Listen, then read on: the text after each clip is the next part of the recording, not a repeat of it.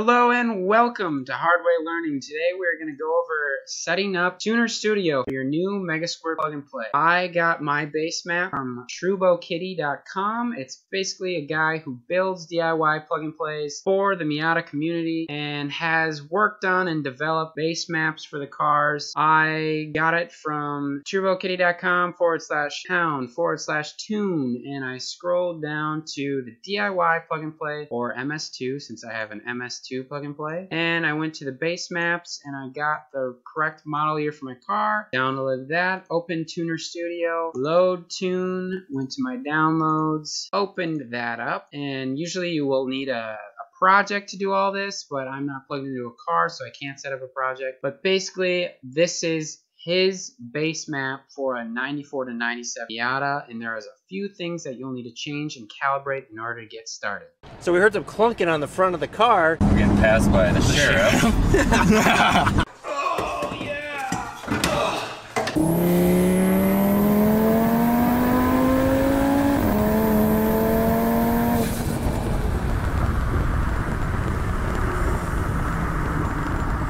so I'm basically going to be working from left to right, going through some of the menus that you need to make sure are correct before you try to start the car for the first time. Let's start in basic and load settings. We want to go to engine and sequential settings. We're going to go to required fuel. Uh, the Miata 1.8 liter is 1,839 cc's. We have four cylinders, and for the stock injectors is 265 cc's. We're running regular fuel for our so our AFR target is 14.7. We'll go okay, and then squirts per engine cycle. We need to switch this to simultaneous in one. Basically, instead of squirting twice per cycle, we're going to go to one per cycle. It'll be less affected by dead times and it'll be smoother throughout the RPM range and a little bit more stable in the idle. It should just make tuning a little bit easier and more straightforward. We'll burn and close that menu. So now we'll go into general settings. Uh, depending on if you have a DIY plug and play or an MS plug and play 2, you will choose different options. With the DIY plug and play, the there is no dedicated barometric sensor, so you use an initial map reading. That's the built-in map sensor that's used for engine load. But on a Megasquirt 2 plug and play, we actually have two independent sensors, so we'll do two independent sensors. We'll go to when I'm plugged in, I get a baro option on MS Plug and Play 2. Um, but since I'm not plugged into anything, it doesn't show up. And then we will include AFR target. This will allow us to have a true VE table. This adds basically a multiplier to the fueling calculation so that you can change your AFR table and not have to retune your VE table. Now, MAT air density table. This, start out when you're still learning how to tune and you're still tuning your VE table, you wanna 100 out everything. Basically what this is doing with new firmware, it no longer needs the ideal gas law built into this table because it is built into the calculation. So for now, we're just gonna do 100% everywhere and then once you have a good tune, we'll talk about that. Now, ego control, we wanna be on single wideband don't even try to do narrow narrowband. You should have a wideband if you're going Megasquirt. It's going to make your life 100% easier, and if you you're going to need it eventually. I like to do 10% correction because if you're leaning on your ego control to do corrections, you are not tuned well burn and close. Next thing we're going to go to AFR table. This we're going to leave alone, but just note we're running rich in our idle section. That's just going to make it a little bit easier to get you know going down the road. Eventually you can start leaning this out a little bit, but if you lean out idle too much, there's a chance it's going to become unstable. So that's why we're rich to start out with on the base map. It'll just be easier to idle, more stable. We're also leaned out in the cruising sections. Uh, it's low load, better fuel economy, and then one other thing to note,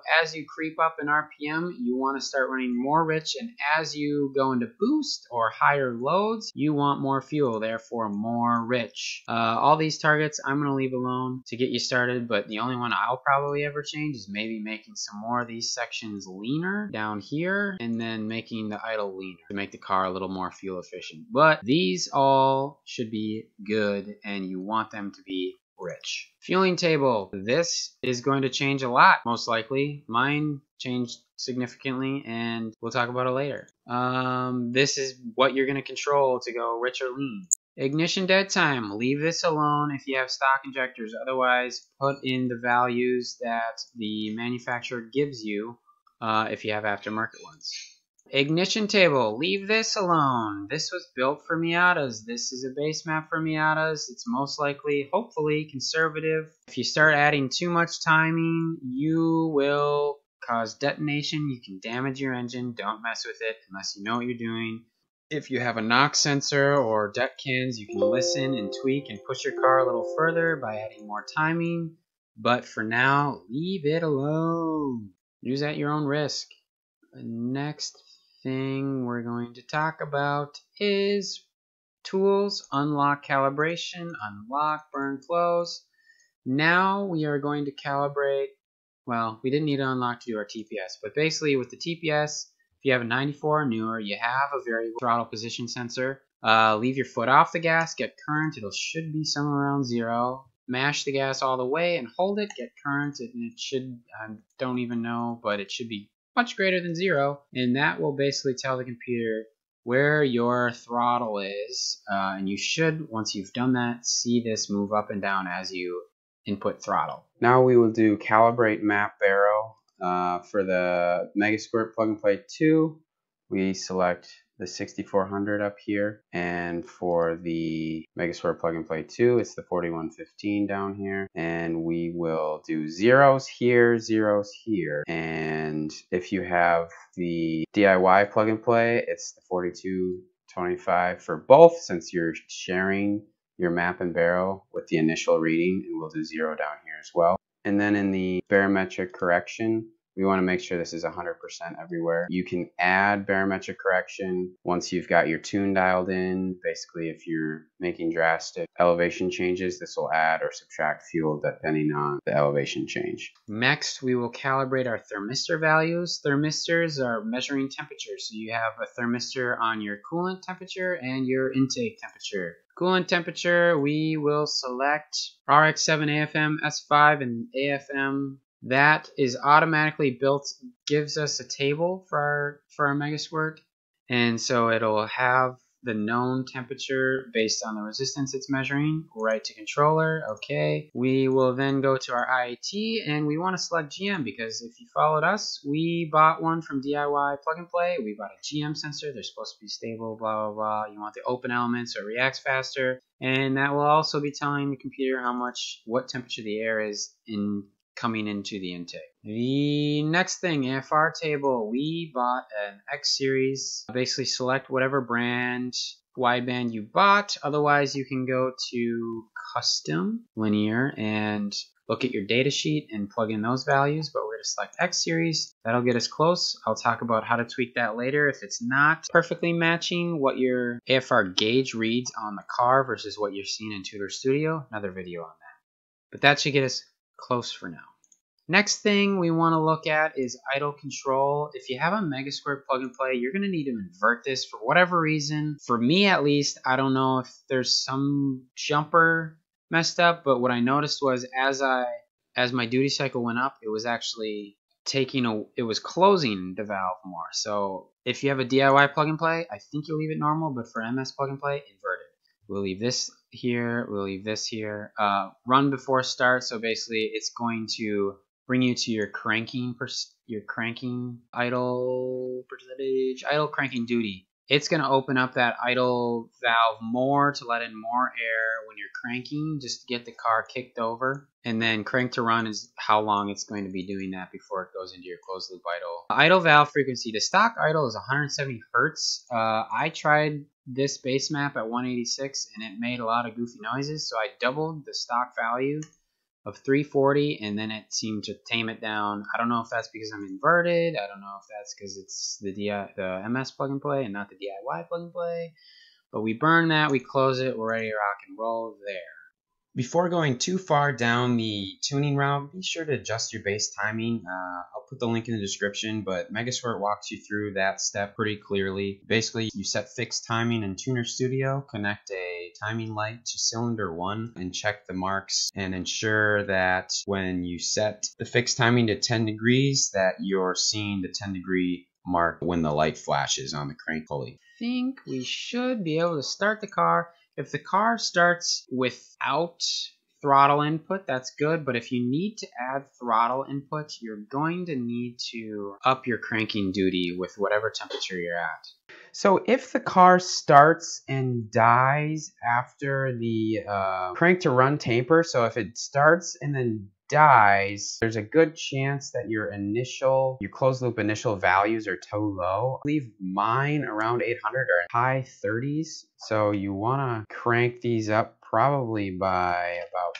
10. It's going to be different for every car depending on where your idle screw is set. I wouldn't mess with your idle screw because if you ever want to go back to the stock ECU, you won't need to tweak anything, but just allow your IACV to be a little more open and that should solve your idle issue. So once the car is started, you're going to want to note what your AFR is. Remember in the idle section, we are targeting 13.8. So if you're too low, which means you're too rich, you're going to take fuel out. If you're too high, so like 14 and up, you're going to add fuel until you're at 13.8.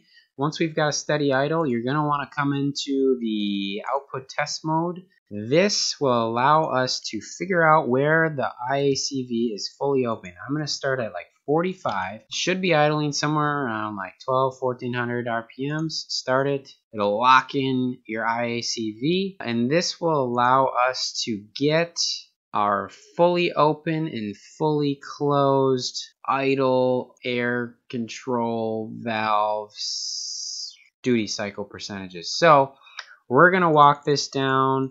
You'll be at like 500 RPM and then you're going to wait until it doesn't affect your RPMs anymore. So let's say we're at 27 and we bump it down and it's still at like 500-ish and you don't hear it going down at all. That means you've hit the fully closed section of your idle valve and that means you can put in your minimum value of 24%. You're going to do the same thing on the top end. You're going to go up. You're at 65. You're at like 1800, 1900 RPM, somewhere up there. And once it stops climbing, you know, you bounce off it a little bit, okay, and it doesn't change when you go 71 to 72. You're going to punch 72 into here. And from there, you you can stop testing. It'll idle back down to normal. Um, one other thing, target RPM curve. We'll just get our scale a little bit easier to read. So this is basically what the car is going to be targeting as it warms up.